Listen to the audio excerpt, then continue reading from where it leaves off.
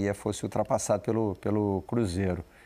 E foi de virada no Alfredo Jacone, onde o Juventude tem conseguido resultados importantes, né?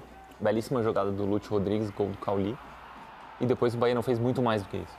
E aí o Juventude é, se impôs com, É, é, com autoridade. primeiro tempo mais, é, mais arremates teve o Juventude. O Juventude realmente foi nos números ali melhor do que, do que o Bahia do, ali do Rogério Ceni.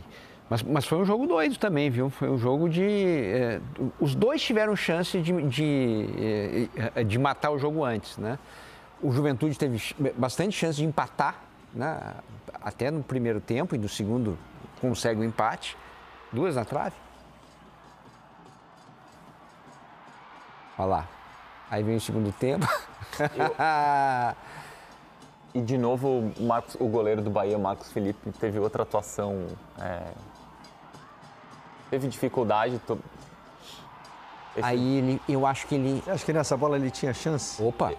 Eu acho que nessa bola ele tinha chance e no outro gol também não. Essa bola, não- ela é, pegou ele no contrapé. Ele É, que foi- ele estava saindo para O Rogério Ceni tirar a bola. fechar ângulo. O Rogério Ceni tomou o maior cuidado na hora de, de criticar. É, falou, não falou em falha, mas falou que, enfim. É. O Rogério Ceni que jogou alguma coisa como goleiro. E aí, e aí esse, esse- gol é de shark attack, não é? Aí, ó. Isso- não é o shark attack? É, parece um pouquinho. É, o Shark Attack do futebol. né? Mas é mó golaço, hein, gente? É. É, tudo bem, a gente está falando aqui que o goleiro não foi dos mais felizes no Gabriel hoje, mas Golaço, sim. tem que dar o crédito para quem faz um gol desse também, né?